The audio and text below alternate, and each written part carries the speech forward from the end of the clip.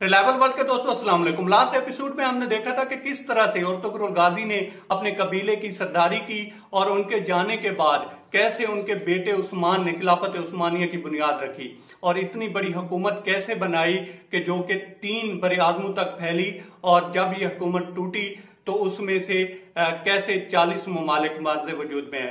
आज हम देखेंगे कि इनकी जो जिवाल या खात्मे का बायस क्या चीज़ें बनी और पहली जंग अजीम में तुर्किश के साथ, तुर्कों के साथ कौन कौन था और खिलाफत उस्मानिया का बायस क्या क्या चीज़ें बनी और इनके खात्मे के बाद जो है तुर्कों को क्यों सौ साल का मुआदा करना पड़ा और उस मुआदे में क्या कुछ था? तो इनके जो खात्मे का बायस बना, वो ये चीज़ें थी कि सवा छह सौ साल तक इन्होंने हुकूमत की और उसके बाद इनमें ऐसा ऐसा सोयल पसंदी आई अयाशी आई और इनमें गद्दारियाँ शुरू हुई और ये इनकी इब्तदा थी खात्मे की या जिवाल की। इसके बाद आई पहली जंग अजीम और इसमें जो है दुनिया दो धड़ों में तकसीम हुई। एक साइड पे बरतानिया था और इसके साथ थे अमेरिका, फ्रांस और रूस वगैरह। और दूसरी साइड पे तुर्क थे और इनके साथ था जर्मन और इसी तरह से कुछ और ममालिक थे। तो ये इनके साथ थे और ये पूरी कोशिश कर रहे थे खिलाफत को बचाने की। लेकिन ऐसा हो ना सका, पहले तीन साल तक तो ये फतेह याब रहे इन्होंने फतह हासिल की। फिर इसके बाद ये जो, जब जैसे जैसे मुआशी जो है, कमज़ोरी का शिकार हुए, इनको नुकसान होना शुरू हो गया और ये जंग हारना शुरू हो गया। यही चीज़ जो थी, इनके खात्मे का बायस बनी और जब खिलाफत उस्मानिया खत्म हुई तो तीन बड़े आजमों से ये हुकूमत खत्म हो रही थी और सवा छह सौ साल के बाद खत्म हो रही थी।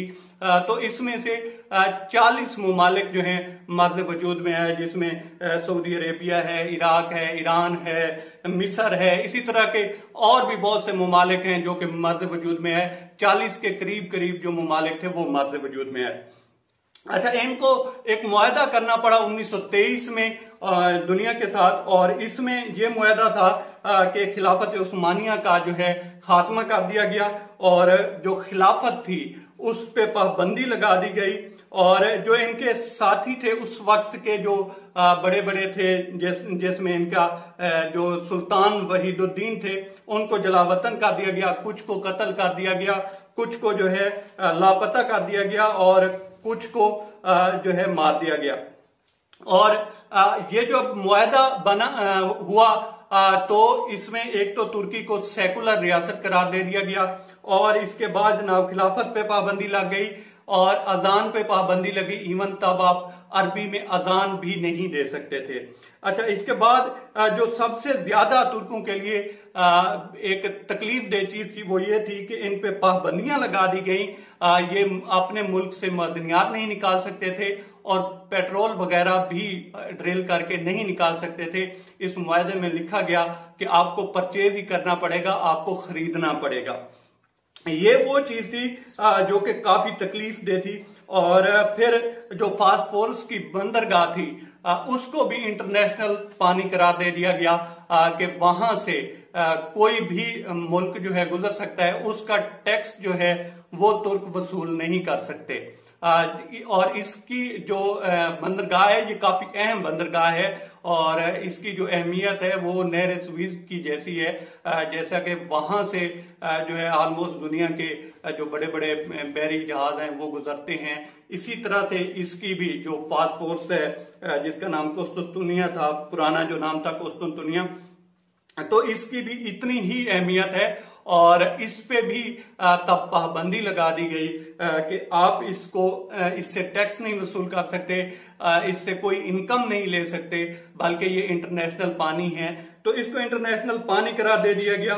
और इसके अलावा जो है काफ़ी सारी ऐसी चीज़ें थी जो कि इनके ऊपर सैंक्शन की सूरत में जो है लगाई गई। और वो जो मुआदा था, ये मुआदा हुआ 1923 में।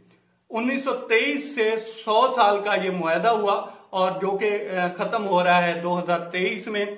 आगे मैं आपको किसी और विलाग में बताऊँगा कि जो 2023 के बाद का तुर्की है वो किस तरह का होगा? क्योंकि तुर्क जो हैं, वो किसी और तरह से सोचते हैं और इसी चीज़ का वो शिद्दत से इंतज़ार कर रहे हैं कि किसी न किसी तरह से 2023 है। और उसके बाद जो है अभी भी तुर्की किसी से कम नहीं है। यूरोप के दरवाजे पे बैठा हुआ है। तो उसके बाद जो है वो वेट कर रहे हैं इस चीज़ का कि 2023 के बाद सही मानों में जो है ऊपर आएगा तुर्की और दुनिया को पता चलेगा और दुनिया को वो बताएँगे कि तुर्की क्या है। तो ये तो हम आगे डिस्कस करेंगे किसी और ब्लॉग में। तो ये थी तारीख और तुगरुल गाजी की कैसे उन्होंने अपने कबीले के सरदार बने, कैसे उन्होंने अलाउद्दीन का साथ दिया, ततारियों को भगाया और उसके बाद अपनी ख्वाब देखा एक और अपने जो मुर्शिद थे, उनको सुनाया। उन्होंने कहा कि आप और आपकी जो आल औलाद है बहुत बड़ी हुकूमत करने जा रही है आने वाले वक्त में।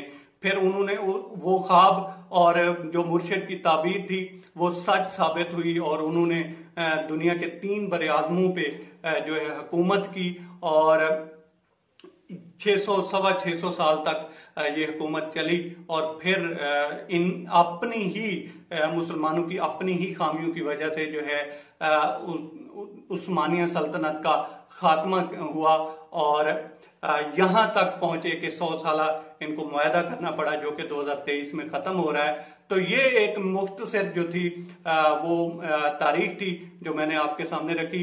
और अगर आपको ये पसंद आई हो हमारे चैनल की एफर्ट पसंद आई हो ये जो तहकीक है छोटी मोटी इंफॉर्मेशन है ये अगर आपको पसंद आई हो तो हमारे चैनल को सब्सक्राइब करें और बेल बटन प्रेस करें। हमारी हौसला अफजाई करें। शुक्रिया दोस्तों।